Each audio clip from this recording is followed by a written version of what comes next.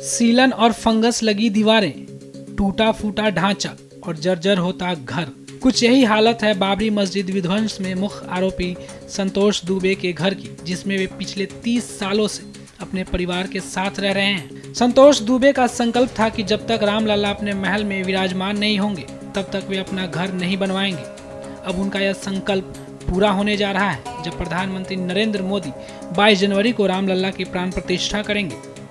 उन्होंने बताया कि मुझे चार गोलियाँ लगी थी और मेरे साथी मेरे आँखों के सामने मारे गए थे और मुझे अफसोस है, हम उन्हें बचा नहीं पाए। उन्होंने आगे बताया कि तत्कालीन मुलायम सरकार ने भी काफ़ी आरोप लगाए थे और कई जेलों में रखा था। मुझे चार गोलियाँ लगी थी दो नवंबर को। और मेरे साथी भाई रमेश पांडे राजेंद्र धरिकार, वासुदेव गुप्ता, ये सब मेरे ही आँखों के सामने मारे गए थे। अफसोस था कि हम लोग उनको बचा नहीं पाए। बचाने में ही खुद भी घायल हुए, इतनी गोलियाँ लगी।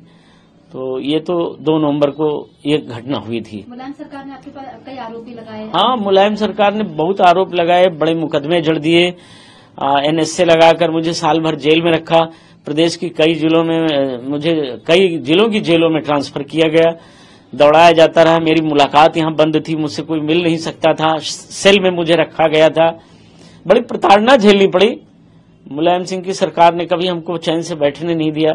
जब भी वो उनकी सरकार आती थी वो या उनके बेटे की जब भी सरकार आई तो मेरे ऊपर तमाम फर्जी मुकदमे लादे जाते रहे।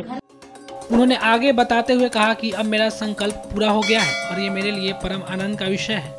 हमारे लिए ये प्रसन्नता सुख का विषय नहीं है ये परमानंद का विषय है मेरे लिए। मेरे जीवन धन प्रभु राम का मंदिर बन रहा वो प्रवेश कर रहे हैं तो मेरे लिए तो ये सबसे मेरा जीवन सार्थक हुआ। इस संघर्ष में शामिल होना लड़ना गोली खाना खून बहाना जेल जाना लाठी पाना ये सब आ, मैं मैं मानता हूँ कि प्रभु की कृपा थी उनके काम आया।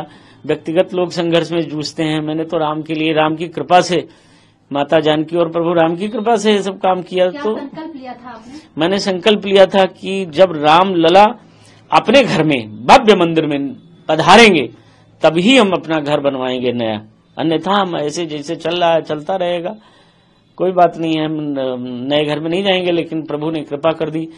आ, मैं अभी कुछ वर्षों पहले कामतानाथ की परिक्रमा करने गया था चित्रकूट तो मैंने मैंने माता जानकी से मांग की थी कि माँ मेरा घर तो तभी बनेगा जब आपका घर बन जाए तो कृपा करिए।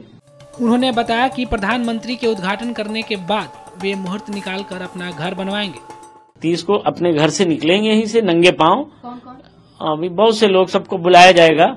अभी मोदी जी चले जाएँ, उद्घाटन करके चले जाएँ, तब हम सबको बुलाएँगे और कार सेवकों को और सबके साथ जो भी लोग बचे हैं, उन सब लोगों के साथ जाएँगे, रामकोट की परिक्रमा करेंगे। रामकोट इन दी सेंस जो राम जी का किला है, राम मंदिर जो बन रहा, उसके आसपास तीन किलोमीटर की यात्रा होती है वो, एक एक कोस।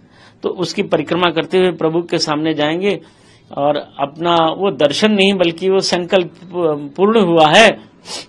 तो प्रभु तो उसके बाद हम तीस जनवरी को दर्शन के बाद फिर अपने घर का मुहूर्त निकलवा कर और घर बनाना शुरू करेंगे। आपको बता दें, प्रधानमंत्री नरेंद्र मोदी कल यानी शनिवार को अयोध्या में अयोध्या धाम जंक्शन और नवनिर्मित एयरपोर्ट का लोकार्पण कर देश को समर्पित करेंगे।